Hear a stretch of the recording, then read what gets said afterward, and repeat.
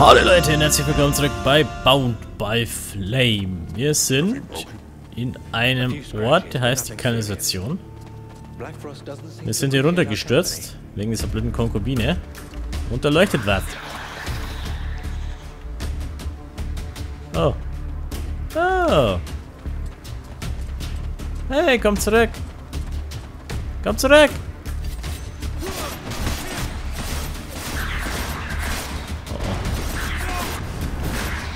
Ich weiß nicht genau, was er vorhat, aber irgendwas versucht er zu machen. Sieht ein bisschen komisch aus, wie er die Arme in die Luft hält. So, ja, hier bin ich.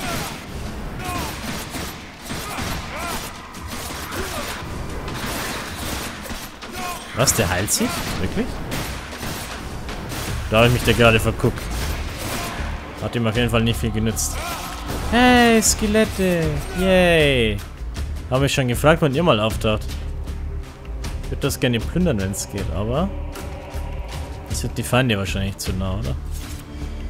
Ah ne, ich muss die Waffen wegstecken. ne, die Feinde sind zu nah. Gelange in die Domäne von Schwarzfrost. Ja, wir sind doch schon in der Nähe von ihm. Wir machen diese Leichenberge irgendwie.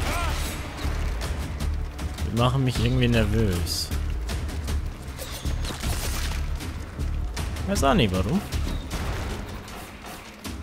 Oh, das sind so viele Skelette. So viele Untote. So viel Loot. Ich will jetzt aber auch nicht wirklich zu weit vorlaufen, weil ich nicht weiß, was da noch alles so auf mich wartet.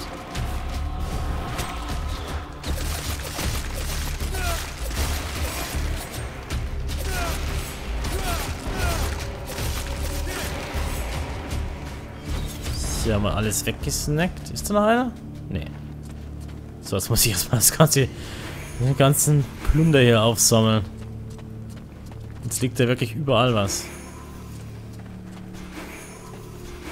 Das war jetzt eine spaßige Passage, das muss ich schon sagen.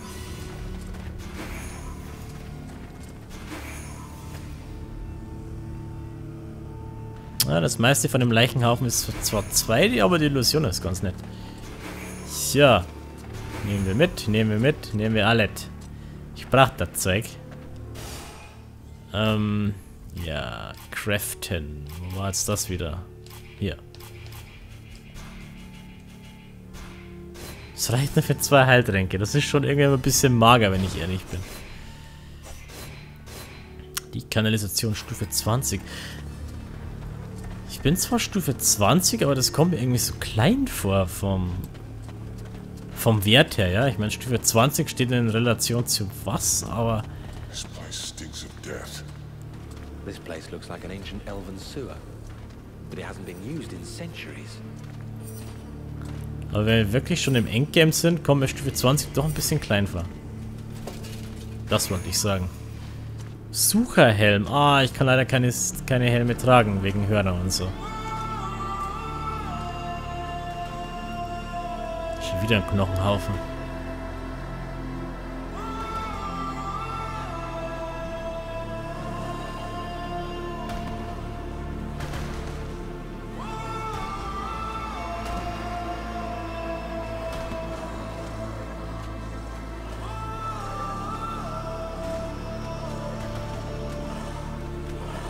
Da kommt also die Armee her.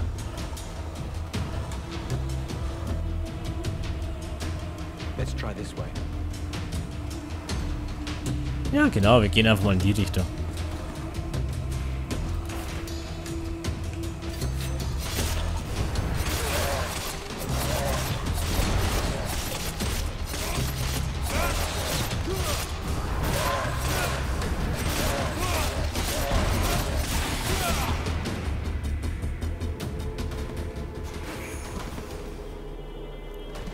Bah, da fliegen die ganze Zeit Leichenteile runter. Ich frage mich nur, wer das runterwirft. Oh. Schon wieder so ein komisches Ding.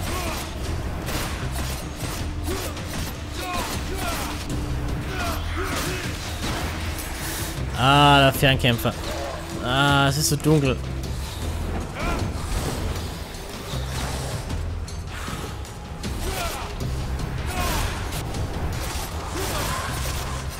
Uah, nicht schlagen, nicht schlagen.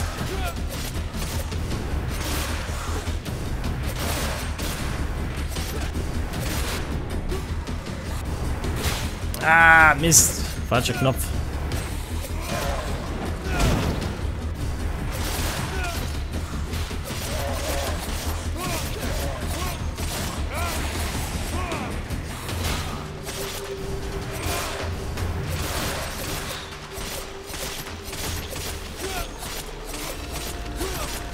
Man kann es immer wieder wunderbar sehen, aber die NPCs sind zwar ganz nett, dass sie dabei sind, aber sie sind eigentlich relativ nutzlos, ja.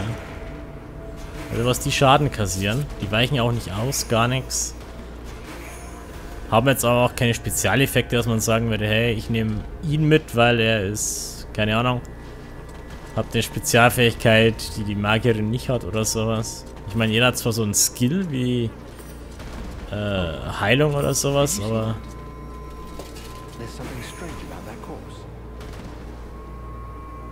Mit welcher Leiche? Die sehen alle komisch aus. Ja, das stimmt nicht mit dieser Leiche. Ja, sie wandeln vielleicht wieder auf Erden. Vielleicht ist das das Problem. Ne? Sachen, die nicht sein müssten. Oder auch nicht sein sollten. Wie schön, dass er immer den falschen ins Visier nimmt, wenn ich auf Loch andrücke. Das ist schon irgendwie interessant.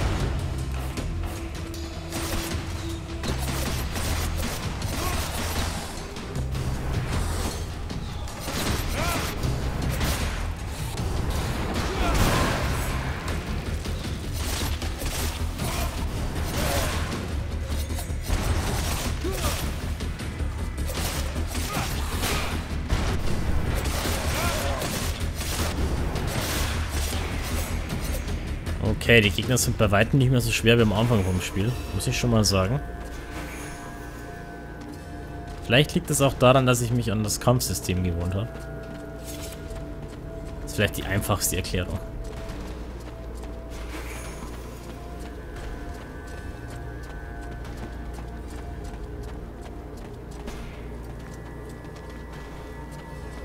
So, immer weiter die Kanalisation hinab.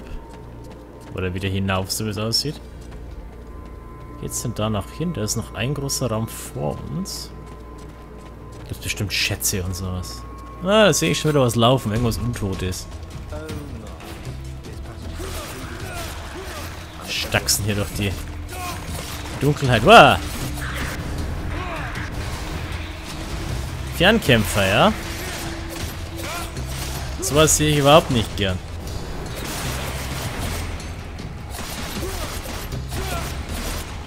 Der größer als die anderen?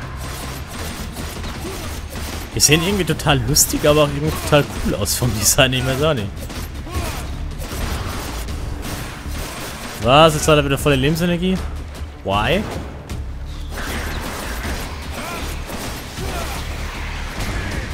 Au, der kann eine Explosion. Das ist ja fies.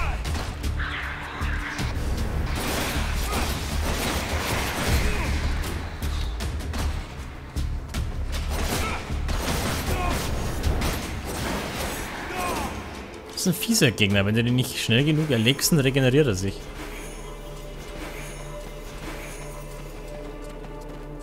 Oh. Eine unscheinbare Truhe. Was immer da jetzt auch drin war, wenn der Scrolltext rechts mal so weit wäre. Säbelzahn. Ah, wie das aussieht hier so. Ah. Die ganzen Untoten. Ganzen Leichen. Man kann sogar die Fliegen hören im Hintergrund. Ah! Ekelhaft. Ich glaube, es ist intelligent, wenn ich hier wieder verdufte.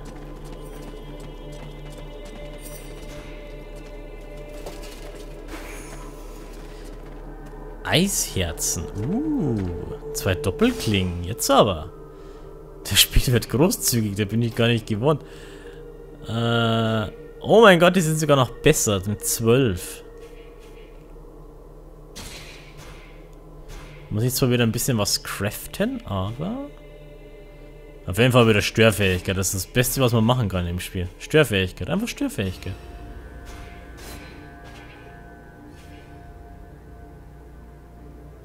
Wobei Dolch der Dorn immer noch besser war von Da waren es 15, sind es 13.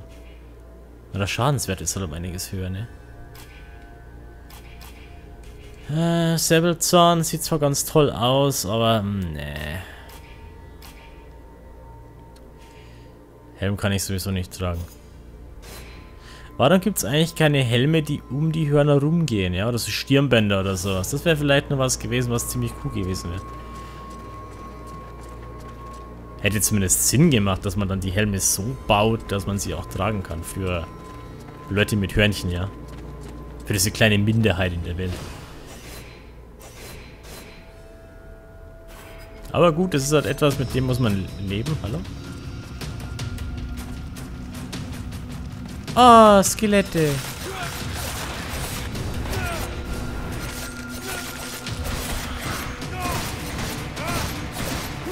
Oh, der lebt er noch. Naja, sofern ein Skelett halt leben kann, ne?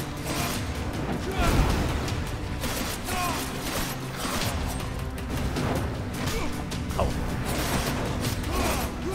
Ist auch ein bisschen blöd von der Störung her, dass er sich den letzten Befehl ab und zu sogar mal merkt, ja, dass du, wenn du auch überhaupt nichts drückst, dass das letzte Kommando noch irgendwie durchgeht.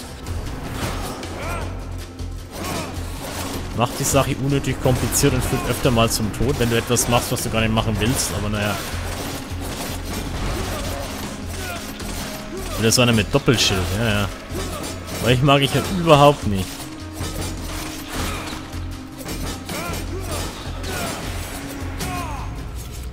Aber das ist wieder mal der Beweis, wenn du genug Störfähigkeit hast, brauchst du nur immer einen Button spammen und es passiert dir nichts. Das ist super. Ich habe das Kampfsystem kaputt gemacht, ja. Da bin ich stolz drauf. Weil da kann ich wenigstens sagen, hey, das habe ich gemacht, ja. Bin da ganz allein drauf gekommen. Nur Y spammen im Kampf. Passt schon. Der normale Angriff ist da somit nutzlos. Zum größten Teil.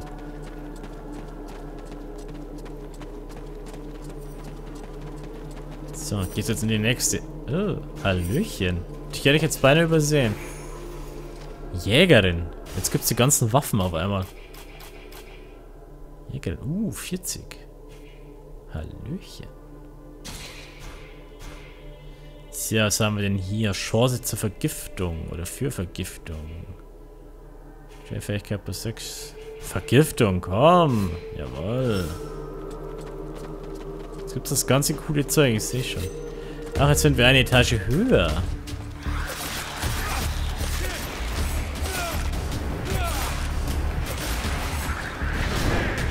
Ups, ich wollte gerade sagen, jetzt kommt er gleich wieder. Da war es dann aber schon zu spät irgendwie. Ah, die Feuerzauber ziehen ordentlich was ab. Ich finde das so gut, Leute. So dermaßen gut.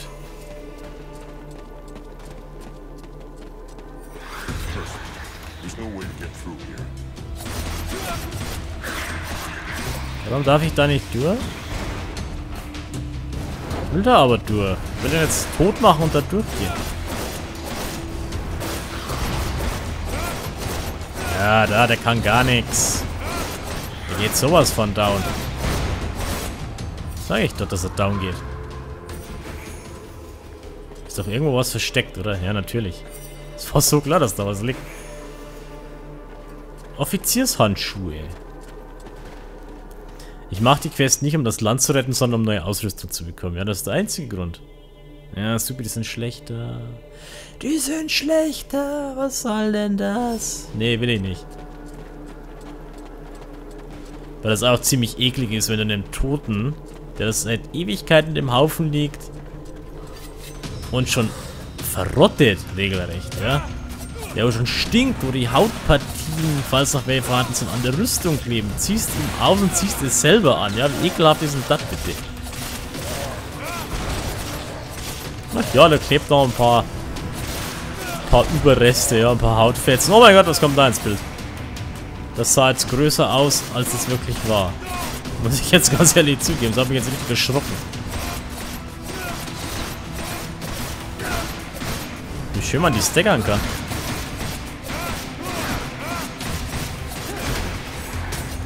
Und Bams. Wunderbar. Jetzt hänge ich da ein bisschen in den Berg drin, aber das macht nichts.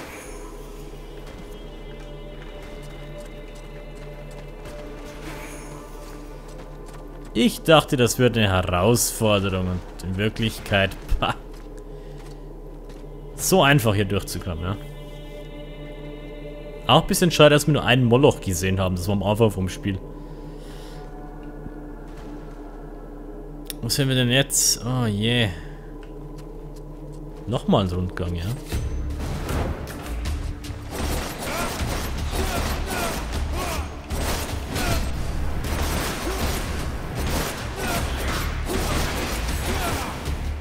Dolche und dann Flammenspell drauf. Das ist so OP teilweise. Aber das macht es auch schon wieder richtig cool.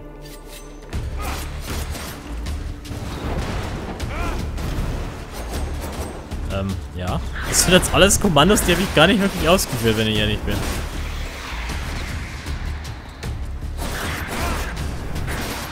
Ich habe ihm eigentlich schon die ganze Zeit befohlen, Flammenwaffen zu zaubern, aber das wollte er dann auch nicht.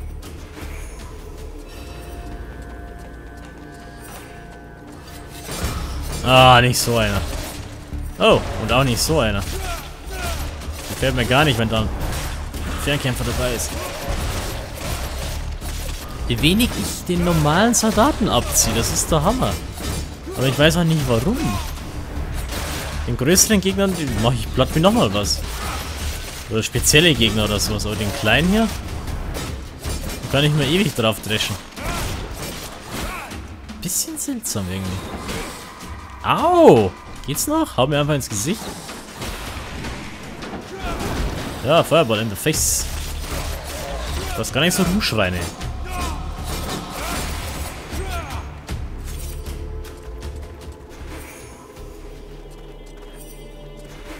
So, das nehme ich mit. Das Fass nehme ich auch noch mit. Da ist bestimmt was drin. Nee, nur Stahl und Leder. Aber er kommt bestimmt auch bra. Ja, Crafting war jetzt nicht so ein großer Faktor in dem Spiel, ne? Außer diese kleinen Ornamente jeweils für die Waffen.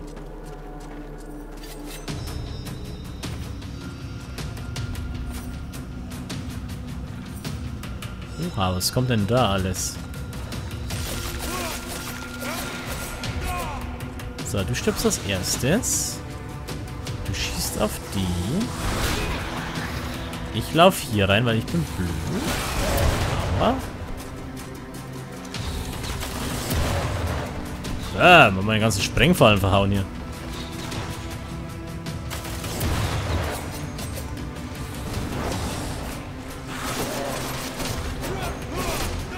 Drei Stück hätte ich noch.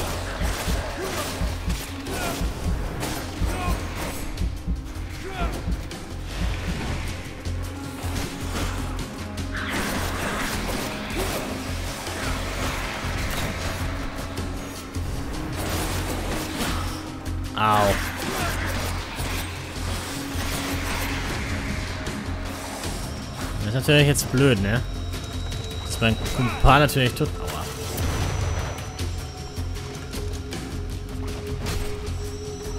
Die Sprengfalle war jetzt hilfreich.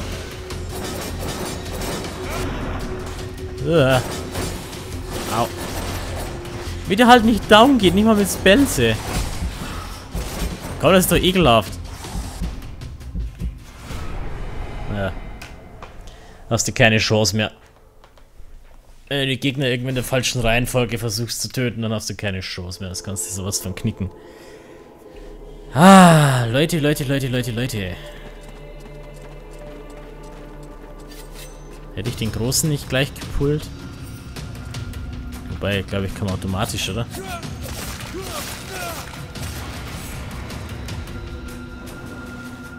Nee, der kommt nicht automatisch.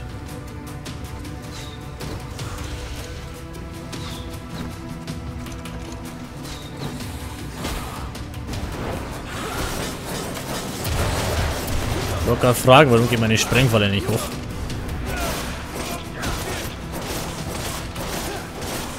Mache ich da von hinten mehr Schaden, obwohl da ein Schild mit drauf ist? Wirklich? Das ergibt keinen Sinn. Ich mache brutalst wenig Schaden, wenn ich auf sein Schild schlage. Das kann ich ja verstehen. Aber er hat hinten auch ein Schild drauf.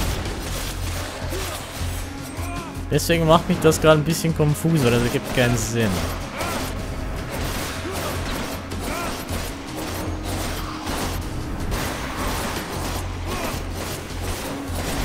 Falls es jetzt eine Attacke war, die hat keinen Schaden verursacht an mir.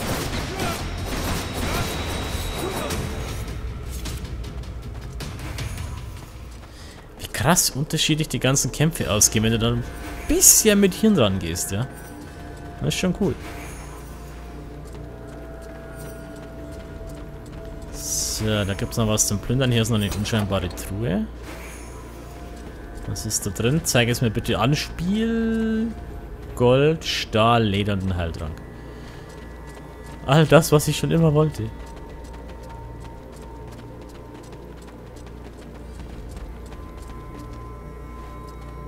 In das provisorische Lager gehen. Wo zum Teufel sind wir? Das wäre mal interessant zu wissen. Ah, die Kanalisation war schon widerlich.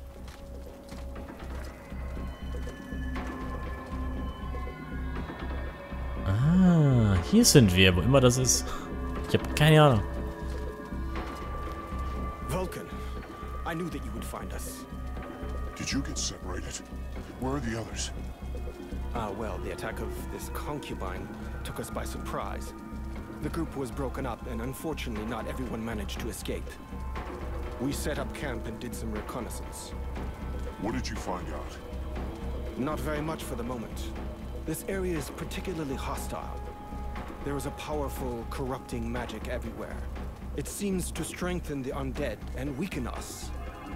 Nevertheless, Mathras seems to thrive in this strange atmosphere. He has been serving as our scout. I've been sensing something unhealthy in the air. This field of corruption might cause us to slow down. I can feel it too. It's not the nicest feeling I've ever had. But I don't think it's gonna slow us down much. Speak for yourself. My head feels like an anvil, and that's without my even listening to Randval say anything. If I have to continually fight against this evil magic, there's a good chance that I will start to slow you down. I understand. Let's go and find Mathras. Might have found out something useful. Alles klar. Finde den Eingang zum Palast von Schwarzfrost. Ja, das hört sich doch schon wie Endgame an, oder, liebe Leute? Auf jeden Fall, wie es weitergeht, das war in der nächsten Folge von Bound by Flame. Ich hoffe, ihr seid wieder mit dabei und ich sage wie immer, stay tuned and so long.